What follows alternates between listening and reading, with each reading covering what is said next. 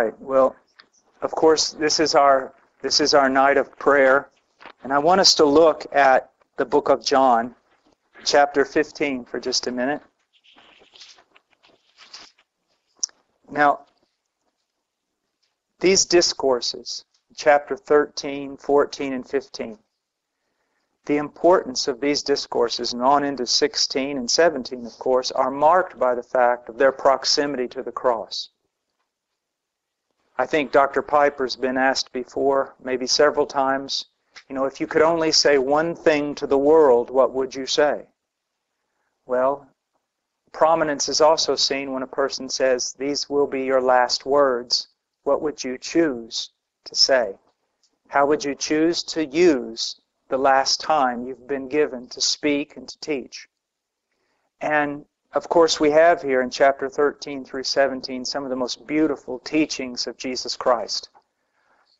He begins to reveal to us what it is to truly be a disciple of, of Jesus Christ that it is not a mechanical or self willed enterprise.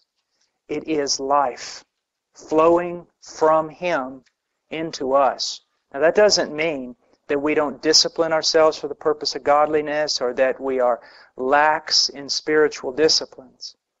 But what it does show us is that it all comes from communion with Christ. You, you could read the Bible, and I suppose you could memorize every chapter in the Bible, but apart from a vital, intimate relationship with Jesus Christ and a dependence that the providence of God has created in you. Now, what do I mean by that? Do you wonder why you've had so many trials in your Christian life? So many failings that you've seen in your own life. Why? It's the providence of God lovingly creating dependence. That you would be dependent upon the vine so that you could really bear fruit as a branch. Now in chapter 15, he says, I am the true vine, and my Father is the vine dresser. He's the true vine. Now, this is important. Why? We live in a day and a culture where well, Christianity is finding its power or its source in things other than communion with Jesus Christ. I mean, there are conferences where you can go to get all psyched up with a bunch of other people to, to serve the Lord. There are mechanisms and structures and, and systems that have been put in place to give life to the church. So there are all kinds of vines out there. They're just all false. They're all false. And they won't bear the kind of fruit that Jesus is talking about. He says, I'm the true vine, and my Father is the vine dresser. What does a vine dresser do? He not only cultivates the vine, he not only protects it and waters it, he prunes it. He prunes it. And, uh, you know, there are exceptional cases in Christianity where a young man rises up and becomes exceedingly fruitful. You have your Robert Murray M'Cheynes, you have Charles Spurgeon, but by and large, especially for young men, I would really encourage them to realize when you first start out, even if you're not called into the ministry, you're just a young boy, a young girl who loves Jesus, you want to realize that a lot of your life is not going to be fruit bearing, but being pruned. And you should care more about investing in a Christ like character than trying to be some fruit producing machine. Now, the language I just used there is totally contradictory. A fruit producing machine. Machines don't produce fruit, vines do. Cultivate your relationship with Jesus Christ. Make that your priority. You will be fruitful. You will be. You will be fruitful. Now, he says, Every branch in me that does not bear fruit, he takes away. This is judgment. One of the greatest signs of a true Christian is fruit bearing of some sort. But he goes on, he says, Every branch that bears fruit, he prunes it so that it may bear more fruit. There is no such thing as an absent God in the life of a believer. In the same way, a true believer, there's no such thing as a true believer who does not bear fruit. There is no such thing as a true believer who can walk any length of time without seeing providence in his life. God pruning, teaching, disciplining, encouraging, rebuking. As a matter of fact, I've seen some people who looked less like Christians, yet it was so obvious they were Christians because of the inescapable providence of God in their life. I mean, they were beaten from the top of their head to the bottom of their feet, but you could tell they were an individual who could not escape God. Yet there are others who seemed quite moral, and yet there was nothing of God in their life. Nothing of God in their life. Now, he says, You are already clean because of the word which I have spoken to you. And if you're a believer here tonight, you're already clean. What is that word? It's the gospel. It's the gospel that makes us clean. Now he says, Abide in me, and I in you. As the branch cannot bear fruit of itself unless it abides in the vine, so neither can you unless you abide in me. Now, we could sit here all night and talk about the intricacies of the word abide. There are several different opinions. That in itself ought to cause us great humility when we approach this text. I can tell you this. The teaching to be drawn from this verse is dependence, my friend. It's just dependence. A man who doesn't know much, doesn't even understand much about the Christian life, but recognizes he can do absolutely nothing apart from Jesus Christ, will be a fruit bearing, powerful individual. What is the chief characteristic that describes the relationship between a vine and a branch? I mean, come on. It's dependence. You, you, you see a branch separated from a vine, immediately you tell your youngest son to go out in the yard and throw it in the, throw it in the fire. Why? It's not going to be put back. Also, you, you understand, thing's not going to bear fruit. If it has fruit on it, you say, pluck it quickly. Why? Because it's not going to last more than a day. Why? That branch exists in absolute dependence upon the vine. Now he goes on. This, this metaphor is so striking. We know that if someone walked up to, was walking down the street and had a branch in their hand and was trying to sell that branch, You'd say it's of absolute no use. And no matter how much he tried to convince you, you'd say he was either a, a swindler or out of his mind. It's an absurdity. What, what good is a branch going to do anybody, a disconnected branch? Well, it's equally an absurdity to live the Christian life in some sort of inner strength or self-will. Even when he says the violent take it by force, that passage is so misunderstood. It doesn't mean that these these strong-willed Christian men who are who are truly, you know, manly men look at the kingdom and just bust through and take it by force. That's not what it means at all. I'll tell you what it means. Um, you there's you you grown men in here, three of you, fully grown. You could you could all jump on me and take me down to the ground and incapacitate me. One of you could. There's nothing strong about me at all. My body is broken. I mean, one of you could take me to the ground. But there is a scenario I can put before you in which I would be dangerous to all three of you men if you jumped on me at the same time, and that is this if I was drowning. You all have been told that if you see a drowning man, you don't run out there to try to save him swim near him, get a branch or something, a stick, throw an inner tube, but don't go out there where he can grab you. Why? He can take three strong men down to the bottom with him. Why? The terror, the fear, the adrenaline. And that's what it means the violent take it by force. It's, it's, a, it's a man who realizes he's so weak, he can do nothing apart from Jesus Christ, and he holds on like a tick, like a shadow that's what it means. I love that because if it meant the other thing, I wouldn't be able to do any of that because I'm not one of those strong individuals. And that's how the weak, do you see this? That's how the weak become strong. That's the whole principle. The weak are strong because they're literally just fiercely holding on to Christ, not because they're self-willed, but because they know apart from Him they have nothing. And in that they become strong. Now, I've heard story after story from missionary tell me that the first sermon they ever preached in the language of the people?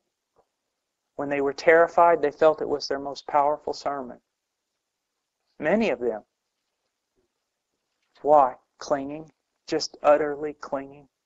Now, he goes on and he says, I am the vine, you are the branches. He who abides in me and I in him, he bears much fruit. For apart from me, you can do nothing. Now, guys, listen to this. Much fruit. Do you know when, when the person, the one converted person in the parable of the sower, what is it, 30, 60, 100 fold? The weakest Christian bears 30 fold fruit. It's much fruit, but we must be cautious. Especially in the culture we live today, fruit is defined in so many wrong ways. It seems to me that we've come to believe that the fruitful man is the one whose supposed ministry has been noticed by other men. Do you realize how contrary that is to Scripture? It's contrary to the whole vein of Scripture. So we can bear much fruit. And I want to encourage you. I want to tell you something. Those of you who have sincerely followed Christ, you have borne more fruit than you know. I think that could be one of the characteristics you could lay down about the genuine Christian is that he is far more fruitful than he recognizes. You are. You're far more fruitful than you know. Now be encouraged about that and go on. Just keep on living. Don't sit there. You know, most times something like this is preached. People walk away going, I haven't been fruitful enough and in the guilt that has just been heaped upon me, I will now go out and attempt to bear greater fruit. That's not it. You have been fruitful. How do we know that? Because you really are a branch. And if you really are a branch, you really are connected to the vine and you really have produced fruit. You have. Just look at your home life. Look at your children. Look at everything about you if Christ had not come into your life. So whatever is greater than what you would have been is fruit. Do you see that? Now, he goes on. I want you to look at something in verse 5. It's not wishful thinking. He doesn't say, I am the branch, and you really try, you need to try to be branches. He makes not a promise, but he makes a declaration of reality. He says, uh, I am the vine, and you are the branches. You know, everyone kind of thinks, what must I do to bear fruit? But I think a better way of looking at it is this. And instead of trying to be what you think you aren't, why don't you be what you are? You are a branch. You are a Christian. Walk in that. Walk in what He's made you. Most people spend their life trying, thinking that the Christian life is trying to be something they're not. And in reality, what it is is be what you are. And that's really good for temptation because when the devil comes to you and says, You're a filthy old sinner and you love sin, so why don't you take a bite out of this fruit? If you believe that kind of jargon, you're going to take a bite out of the fruit. You're going to say, Well, what else can I do? But if you sit there and he comes to you and goes, You're just a filthy, sin loving wretch and you love sin, so take a bite out of this. No, you look at him and go, No, I'm not. I am a Christian. I am a saint.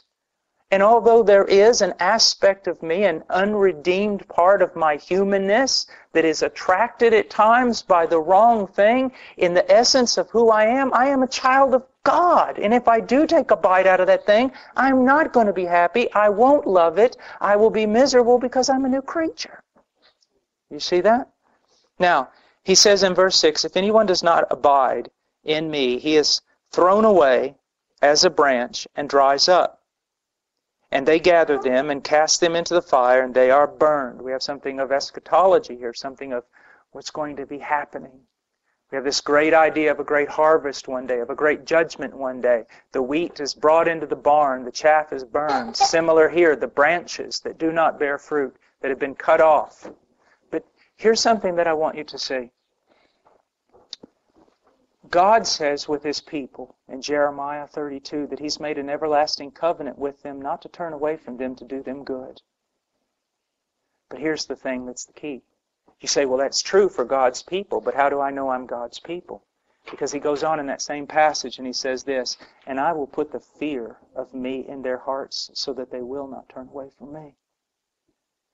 You guys, can you guys get thrown off by temptation? You bet you can. Can you look sometimes like, oh my gosh, you don't look like a Christian? You're acting angry, you're arrogant, you're spiteful. There seems to be all sorts of just words coming out of your mouth and hurtful things, and you're not acting properly, and you're full of bitterness. Is that possible for you? Yes, it's possible for me. I describe it so well because I suffer that. But here's what I want you to see. Could you at that moment deny Christ? You go, no. I can't. Why? I fear him. Why? Because he's put his fear in you. And why has he done that? Because he's made an everlasting covenant with you not to turn away from you to do you good. See how it works? It's very encouraging when you understand how the thing works. Now, in verse 7, if you abide in me, and my words abide in you, ask whatever you wish, and it will be done for you. Now, here's something that I want to point out. That abiding, remember what I said, it's dependence. It's being dependent upon Him. And the Father prunes us to make us more dependent. But also here, there's this idea of my words abiding in you and asking whatever you wish. I think at least a manifestation of that abiding is a feeding upon Christ's Word, an internalizing of His Word, and a, a life of prayer. I don't think you can have this abiding relationship apart from feeding upon His Word and abiding in prayer. Okay? So, I know you struggle at that. It's not a cause of condemnation for you. Let me share something with you. So many people look at other people who seem to have great success in the matter of reading the Word and prayer, and they think to themselves, that person's just really spiritual, or that person has this gift. Let me share with you something, and it'll be very helpful. Everything that I do personally in the Christian life is a fight. I have to fight to read my Bible. I have to fight to pray. I have to fight to believe. I have to fight for joy. I have to fight to love the people I should most love. And when you get that into your head, it changes things. First of all, you say, well, I don't have an excuse. It's hard for me, and I don't do it, but it's hard for him or it's hard for her, and she does do it. So the only difference between us is not so much gifting as it is fighting. And where does that fighting come from? Is it that strong-willed person who fights? No, it's the desperate person who fights, you see? Why do you fight so? To hang on so? Because I have no other place to go. I have no other hope. Nothing is going to be any good unless I fight for this. Now, another thing that I want to point out is look in verse 8. My Father is glorified by this, that you bear much fruit and so prove to be my disciples. Now, verse 16, you did not choose me, but I chose you and appointed you that you would go and bear fruit, and that your fruit would remain, so that whatever you ask of me in my name, he may give it to you. Now, do you notice something that verses 7 and 8 and verse 16 have in common? Verses 7 and 8 end in the discussion of bearing much fruit. Verse 16 begins with the subject of you were appointed to bear much fruit. Verse 8 begins with prayer, uh, verse 7 begins with ask whatever you wish, prayer. Verse 16 ends in whatever you ask of my Father in my name, he will give it to you. Prayer. Fruitfulness. And I think this if you miss this point, you've missed the upper room he says in verse 16, Look, in my providence, I've chosen you to bear fruit. In my power, the first part of verse of 15, listen to me, in my power, you are a branch. I'm going to transform you. You are a branch. You are intimately connected to me. We are one. But you can't rest on, He has made me a branch. And in His sovereignty, He's appointed that I bear fruit. Look at the way He said you're going to bear fruit. In both cases, it was directly linked to asking in His name. And what He's telling these disciples is this Look, I'm leaving. I've appointed you to bear fruit. And He even tells them you'll do greater works than I've done. I've appointed you to bear fruit. And what He's telling them is this is the way you do it. Ask anything in my name and I'll do it. Ask it and I'll do it. Ask it and I'll do it. So the key to the fruitful life is asking the Father. Now, here's something. This is what puts prosperity teaching totally buried in the ground. And I wish I had thought this up or could say the Lord gave this to me, but I heard another uh, person share this. And we all know about blessed is the man Psalms chapter 1.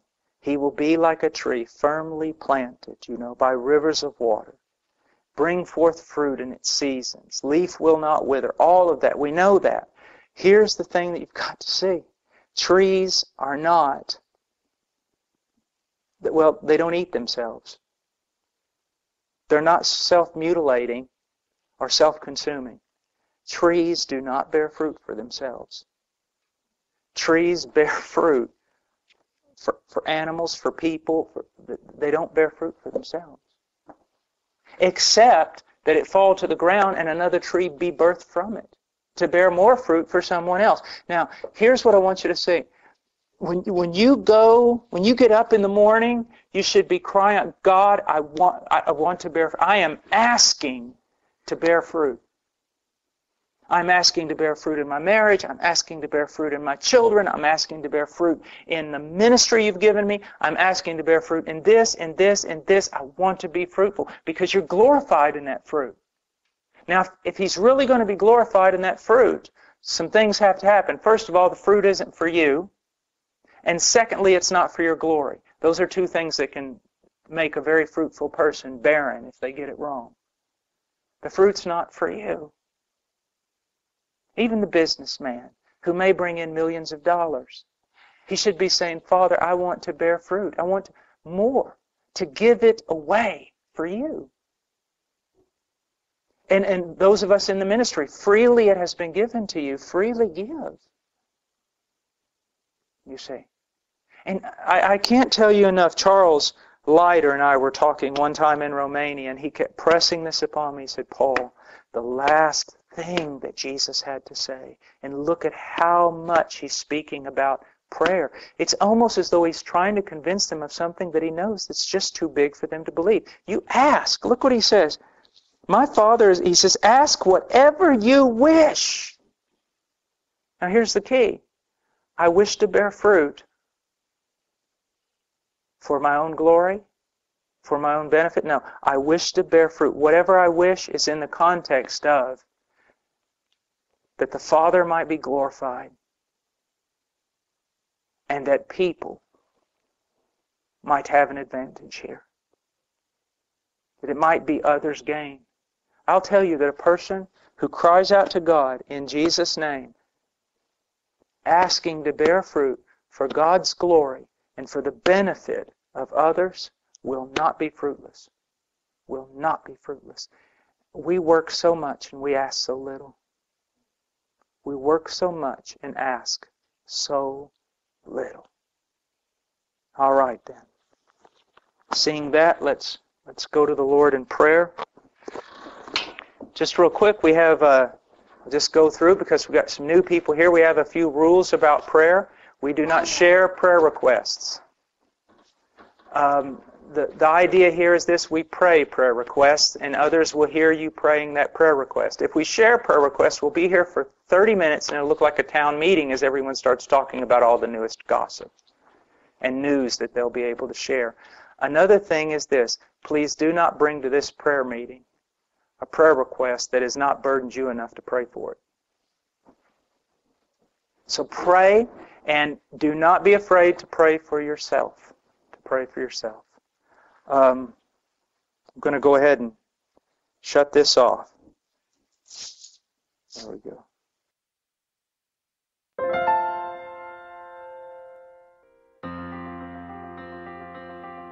Please visit our website at heartcrymissionary.com. There you will find information about the ministry, our purpose, beliefs, and methodologies, and extensive information about the missionaries we are privileged to serve.